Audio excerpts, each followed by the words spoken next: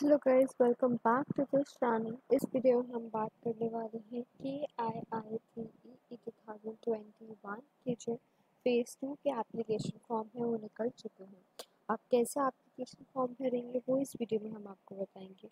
आप यहाँ पे देख सकते हैं, आपको कुछ फील्ड्स हैं जिसमें अपनी इंफॉर्मेशन लिखनी है। आप अपना नेम अपना मोबाइल नंबर अपनी ईमेल आईडी और जहाँ पे आप रहते हैं स्टेट लिखेंगे उसके बाद आप एक कैप्चा फिल कर देंगे, जो भी आपको नीचे कैरेक्टर्स दिख रहे हैं, आपको सेम कैरेक्टर्स यहाँ पर लिख के सबमिट कर देंगे।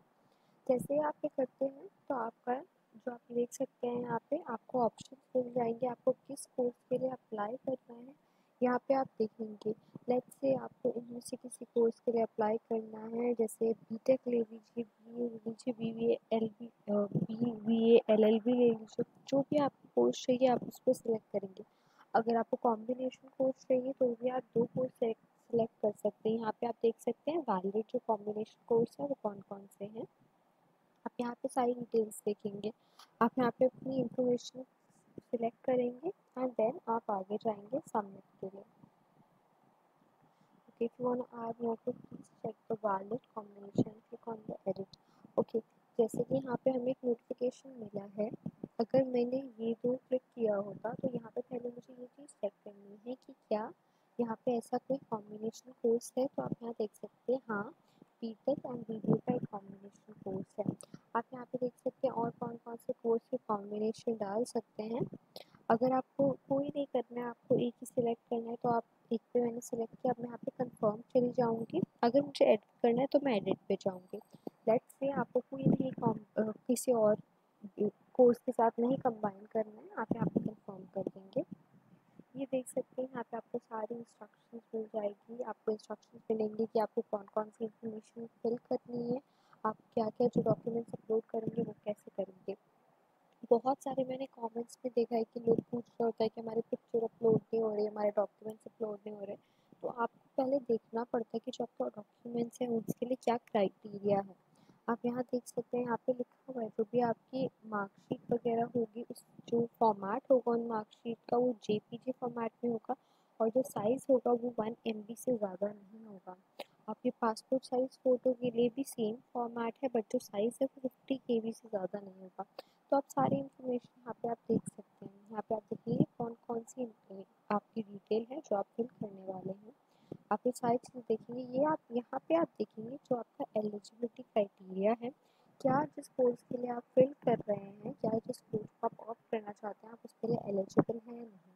लेट्स से मेरा, मेरे को बी बी ए मैंने सिलेक्ट किया था, मैंने यहाँ पे देखा कि हाँ ये सारी इन्फॉर्मेशन है। येस आई हैव मतलब मैं एलिजिबल हूँ बिकॉज़ मैं दोनों क्राइटेरिया जो है फुलफिल करती हूँ। अब मैंने अपनी सारी इन्फॉर्मेशन देख ली यहाँ पे जितनी भी इन्फॉर्मेशन मेरे को मिल रही है, मैंने सारी चीज़ें पढ़ ली। Now I go to submit आप यहाँ देख सकते हैं, यहाँ पे मैं जाऊँगी अप्लाई करने के लिए।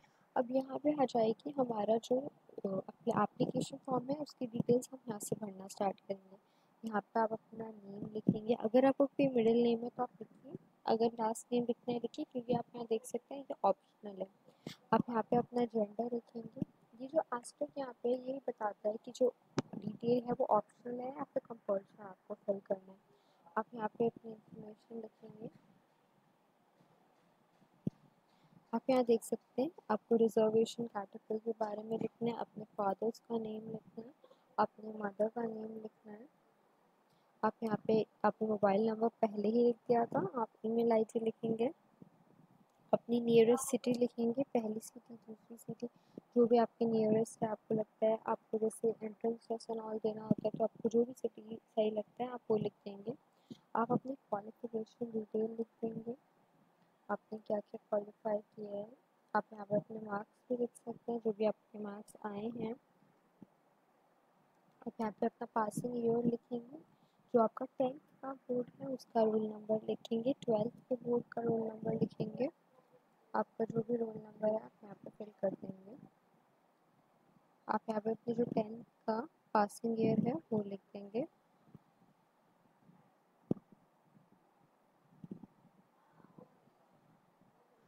देख सकते हैं।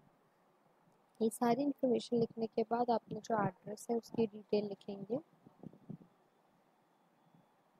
जो कि सिटी है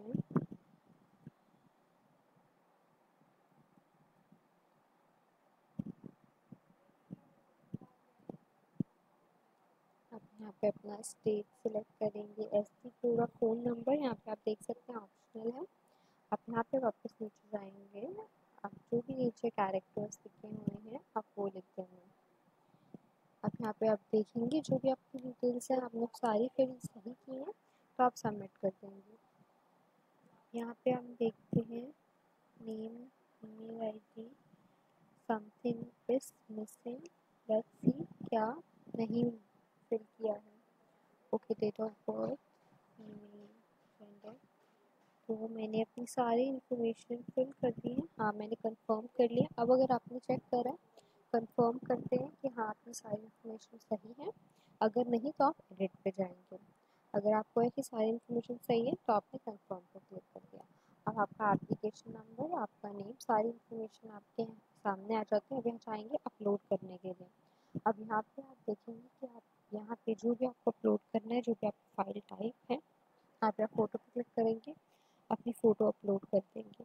सेम आप सिग्नेचर पर जाएँगे। सिग्नेचर पर क्लिक करके तीनों जो भी आपको तीनों डिटेल्स हैं आपको तीनों डिटेल्स अपलोड करेंगे प्लीज़ जब भी आप अपलोड कर रहे हैं अपना फॉर्मेट एंड साइज़ मत भूलिए। जब आप एक तीनों अपलोड कर देंगे तो आपको एक पेमेंट करना होगा, जो एप्लीकेशन फॉर्म की पेमेंट होती है। आप वो कर देंगे, उसके बाद आप अपना एप्लीकेशन फॉर्म जो है वो डाउनलोड कर सकते हैं। आई होप इस वीडियो ने आपकी हेल्प की हो। अगर इस वीडियो ने आपकी हेल्प की है please like this video and subscribe to this channel thank you hope you have a nice day